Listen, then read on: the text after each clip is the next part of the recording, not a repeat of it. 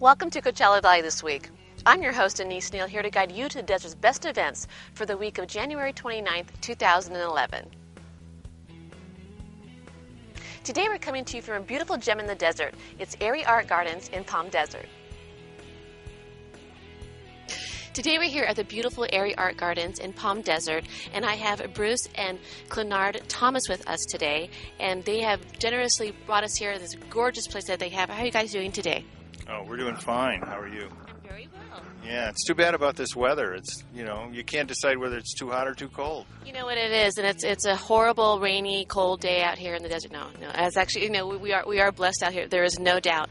So tell me about this place, this gorgeous, gorgeous Shangri-La of sorts. Well, we've built it for years, and we've built it with our theme, Harmony with Nature. So everything you see has to do with that. We have all different sculptures and all different kinds of cactus that Bruce personally has planted over the years, and trees. When we first moved here, it was just a barren hill. And with the art and the wonderful cactus, it's just been a special place to live. Yeah, we've we've planted oh over five six hundred trees here. I mean that's a tendency. You, you, you, you put in little trees, you go, oh, we need a lot of them, and now we're looking around going, we don't need this many of them because they're big. It's kind of scary when a tree outgrows you, you know. when all of a sudden you look at a Takes big, big, big, tall, tall pine, palm tree, and you and you realize you brought it in by hand and, and planted it, and now it's huge. So Most of them were in one gallon buckets, so they were small, and we've watched them grow. Kind of our family out here. What's wonderful about it is we've built, it's really like a park. But that just goes with the territory. And um, I think both Clonard and I would rather have a fabulous view and fabulous nature around us rather than a fabulous house. Although we live in nice houses, but they're small. And, uh, and our home up on the hill is a homestead house from 1936 and uh, built very simply and, but it's really fun. So now tell me about this wonderful place when you began the Aerie Art Garden and, and why you started it. Well, it was a joke. We, we started it as a joke, or just a, a very ridiculous thing. We were staying out here uh, for a couple of days with, with uh, Clonard's parents who had a place at Marrakesh. And we made up a ridiculous list of things that we wanted. It had to have lots of acreage because we, we were we, at the time we had a studio in Hermosa Beach, which was wonderful, but it was in a surfboard area three three blocks from the beach, and it was a thousand square feet, which filled up with just stuff because we were sculpting then and painting, but mostly sculpting, and so it had to be big. It had to be really inexpensive because we didn't have any money, and and it had to uh, be out of town. That's what we wanted. Yes, it had to have great views. And so this old lady, Mrs. Tomasi, which is very, uh, very, very funny because our last name is Thomas. Um, she says you want to be up in the Cahuilla Hills, and she brought us up and showed us places, um, and nothing looked quite right. And we left our name, and, and July 27th, uh, she calls and says, "There's, I found your place, and you have to come out and see it." And I said, "We're doing the biggest sculpture commission we've ever done for Channel 5 in New York City, and we're flying out this week, and we have no time to go anywhere." She says, "You better come out." So I said, "Clonard, we're going out to Palm Desert tomorrow. We're going to start at three in the morning." We came out at three in the morning. We looked at this place. It was locked. So I broke the door and went in. It was in a homestead house that had been broken into anyway. I, I just went in. We looked all around, and it was a wreck. The house was a wreck and everything else. Of course, that didn't stop us. And and by by 11 o'clock, we were heading back to Los Angeles. So we'd made an offer on it. And the lady who owned it uh, was an actress slash artist slash uh, singer slash Right. And, and her husband was one of the world's greatest guitar players, Al Hendrickson, and he played. Um, he was a, he was a studio guitar player when we knew him, and at the, at the movie studios, and they lived here and they lived in Hollywood, and she loved art, so the down payment was a was a sculpture. Oh, which was perfect. nice. Yeah, yeah. And so then we started paying, you know, a whopping, I don't know, 150 bucks a month, and which was a lot of money for us back then, 1978. So then, I don't know. Then, then we every time we've had a chance to buy contiguous property, we have. So, uh, and it turns out it was a good idea. I mean, I think the homestead area is a really interesting thing because you used to be able to get five acres free Right. Yeah. from the government in the 1930s to 1950s, and um, and now it's actually worth some money. You know, it's changed. There's, there's no more homesteading, unfortunately. You have to actually pay for it. Um, but nowadays, so so now you guys up up here now. I understand you've done workshops, art workshops, photography workshops, and although this is open to the public as far as like um, like corporate events and that kind of thing. Well, we're not open to the public per se for a lot of reasons, but um, we, we will open up if somebody is, is maybe a friend of a friend or if they say they're an artist and they really are, we'd like to have them bring some of their pictures of their work or whatever. Um, or if they say they're a collector or they have some connection in the art world. Um, but we have to qualify people because otherwise we wouldn't get anything done. And, and as you get older, you start valuing your time because there's less of it every year. So. That's just, well, you know what? This is absolutely a wonderful place, and we thank you so much for having us up here. And there's so many beautiful gems in the desert, and this is truly one of them. And we feel very, very honored to be able to be here and, and be a part of this beautiful place. So thank you so much for having us here today. Oh, you're welcome. You're welcome. Yeah, thank you. If you want more information on the Aerie Art Gardens, you can go to www.aerieartgardens.com. Now, let's see where I'll be guiding you this week. Check out outstanding art at the world famous Southwest Arts Festival at the Empire Polo Club in Indio through January 30th with over 255 artists. For more information, visit indiochamber.org/southwest. Entertainer Steve Lawrence performs at the McCallum Theater in Palm Desert on January 29th. Get tickets at mccallumtheater.com. The Gardens and El Paseo's Wine and Music Series kicks off on January 29th and runs through April 16th. For more information on the event, go to thegardensandalpaseo.com. The Deaf Seniors Foundation of Palm Springs holds their semi formal event at the Riviera Resort in Palm Springs on January 29th with dinner, entertainment, and a silent auction. For more information, go to dsf ps.org. The Broadway and cabaret singers, the Calloway Sisters, perform at the Annenberg Theater in Palm Springs on January 29th. For ticket information, call 760 325 4490. Les Originals Encore presents their drag entertainment at Hotel Zoso in Palm Springs on January 29th, benefiting the AIDS Assistance Program. For more information and to get tickets, go to AIDSassistance.org.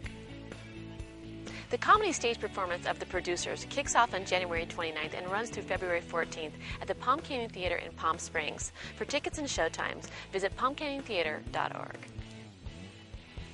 The Hot Rod Custom Car Show dazzles in La Quinta on January 30th with prizes, food, music, and so much more. For more information, go to lqchamber.com.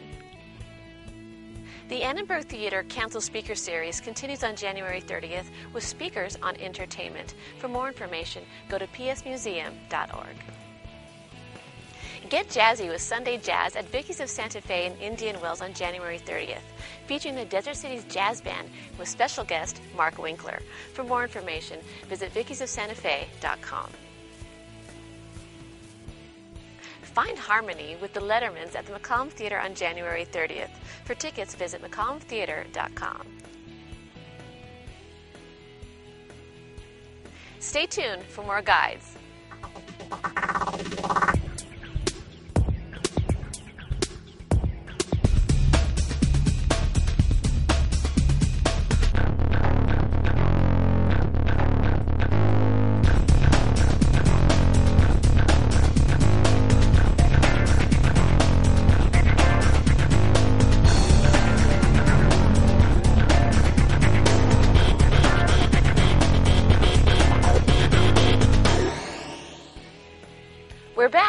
More guides. The play Golda's Balcony, starring Tovah Feldshuh, performs at the McCallum Theater in Palm Desert on January 31st. Visit mccallumtheater.com for tickets. The Mousetrap Invitational Golf Tournament tees off at the Ironwood Country Club in Palm Desert on January 31st, benefiting the Living Desert. For more information on the event and how to participate, visit livingdesert.org. Take a stroll in El Paseo and Palm Desert for their art walk on February 2nd. For more information, call the number on your screen. The Backstreet Art District in Palm Springs holds their art walk on February 3rd with artist receptions and more. For more information, call 760 202 1208. Spa Tour 2011 leaps off from Cabot's Pueblo Museum in Desert Hot Springs on February 3rd, visiting local area spas including the famed Two Bunch Palms. For more information, go to cabotspueblomuseum.org. The world famous Vienna's Boys Choir performs at the McCallum Theater on February 3rd. For tickets and showtimes, go to mccallumtheater.com. Monty Python's Tony Award winning musical, Spamalot, performs at the McCallum Theater in Palm Desert February 4th through the 6th. For tickets, visit mccallumtheater.com. The acclaimed Menopause the Musical takes the stage at the Annenberg Theater February 4th through April 10th. For tickets and showtimes, visit psmuseum.org. Those Fabulous Follies enthrall audiences through May 15th at the Plaza Theater in Palm Springs. For tickets and showtimes, visit psfollies.com. The performance of Always Patsy Cline entertains at the Indio Performing Arts Center in Indio through February 20th. For tickets and showtimes, call 760 775 5200. For more information on the events mentioned on today's show and other fun taking place up in the high desert, visit thesunrunner.com.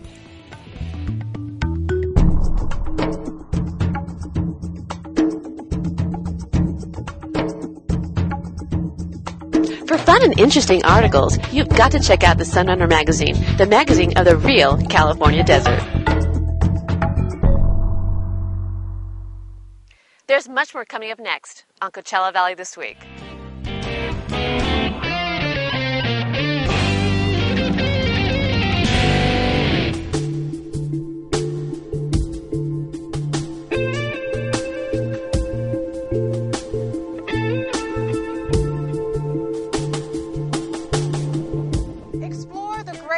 Transition, a bridge of desert lands, the Mojave and the Sonoran, terrain of ancient bands.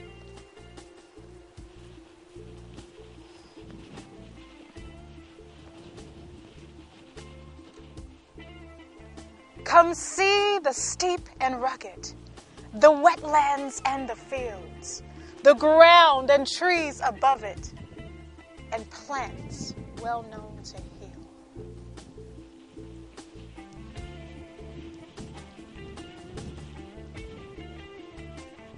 Come ease along the boardwalk and bask in scenic views. Come listen to the trees talk as nature takes her cues.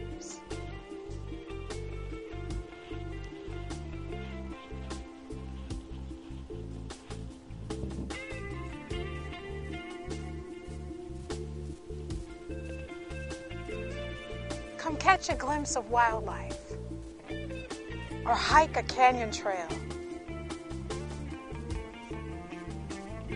Come seek a path of solace and see the way prevail.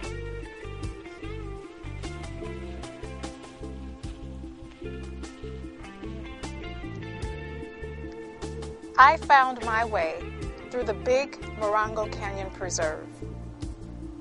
Which way are you taking?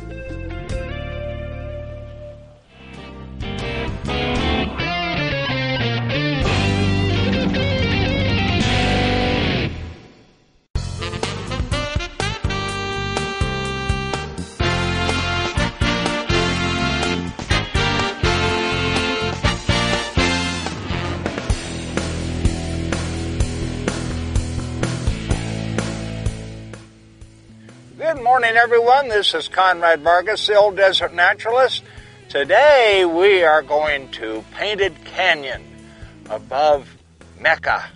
Beautiful scenery here, and I bet you that Renee is going to pan across and get a picture of all of the beautiful hills behind me.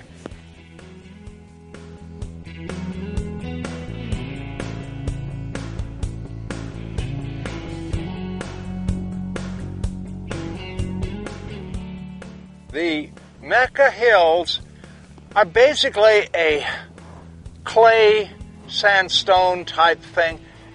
The colors are caused by many, many different chemicals that have come up through the layers from the San Andreas Fault that we're standing on at this very moment.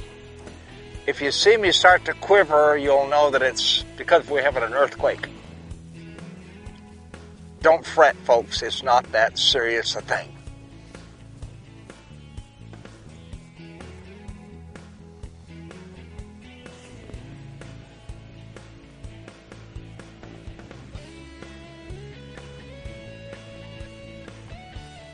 We're well into the Painted Canyon, and we just stopped here to take a picture of this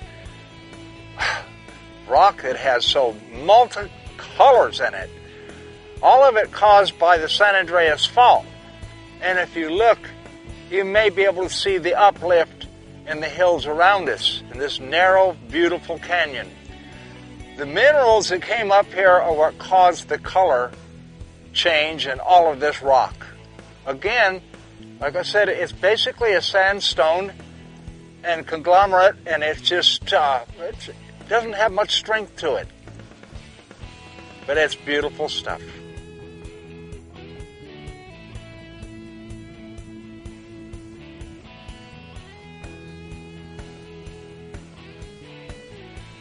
Folks, you got to come up the canyon and see this.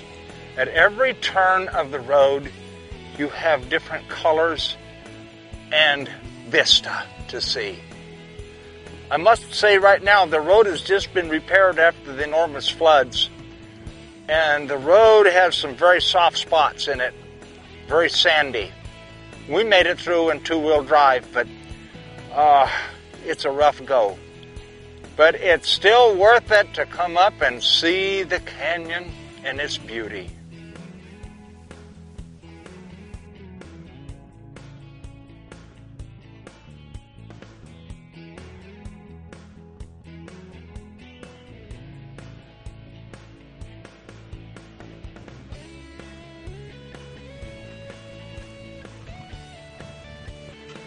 Uh, we're at the parking lot here in Painted Canyon. Really, the colors are not as great here as they were down below. But that's caused by the San Andreas, which is now in front of me, behind you folks, where you're watching it on TV. But here we have the, some of the geology from the San Andreas, even though the, the rocks are not near as visible as to the structure caused by the earthquake fault line itself. But we do have new fault lines up in the canyon here that uh, are very hard to see, but a good geologist can point them out. So come up to Painted Canyon, enjoy the day, and again, bring a lunch, bring a friend, but take the trash home with you. I hope it's not your friend that's just trash, but whatever it is, take it home.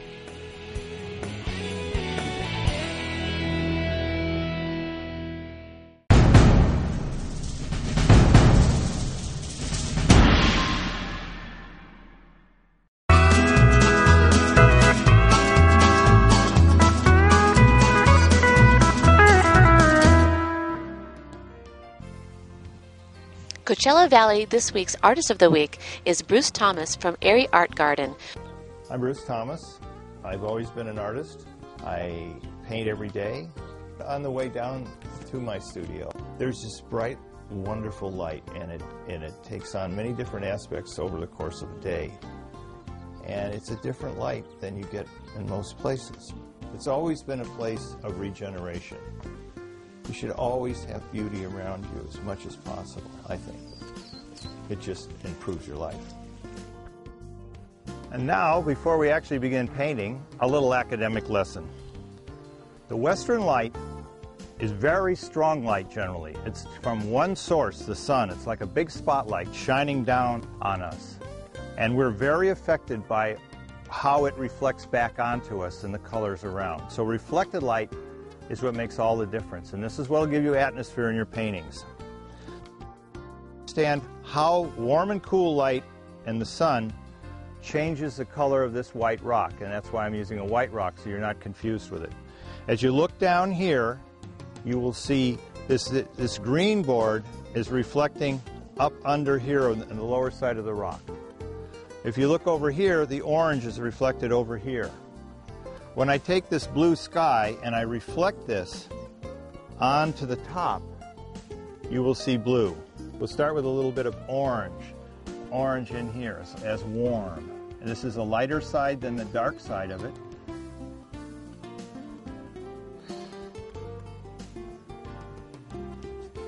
And I think that if you paint fairly rapidly, you'll get more energy into your paintings.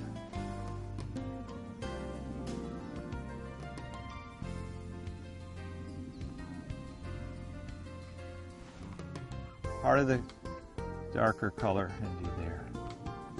So I'm breaking the rock into three planes. The top plane, which is where the light is hitting and there isn't much color the darkest plane away from the light.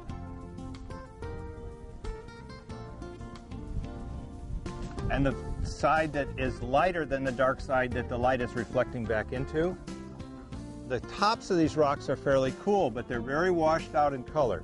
So you don't use much paint. And cool is a blue color or a purple color, but blue is, is the most cool painting color. This will gray it.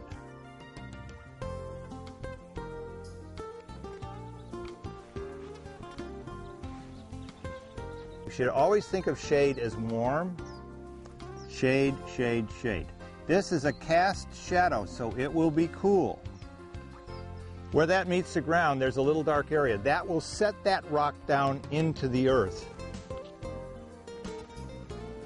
So now you can kind of see that these rocks do sit down. That's important. You could come in with a little purple in here, that's a color. And believe it or not, you could even come in with a little strong green.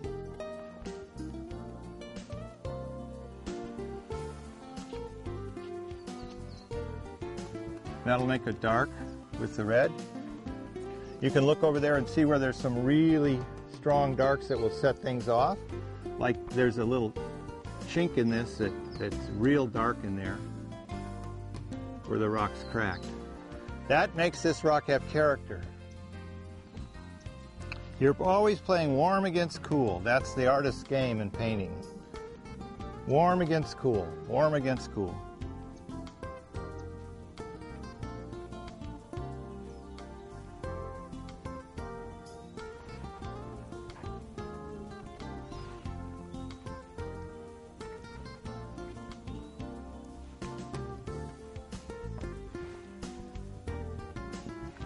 We're just doing it very simply here get you have the idea of what's going on.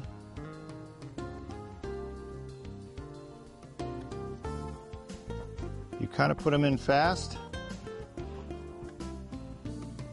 I do anyway. I love to paint with some energy. You put it in and you get out and you leave it alone. I think I'll do exactly that.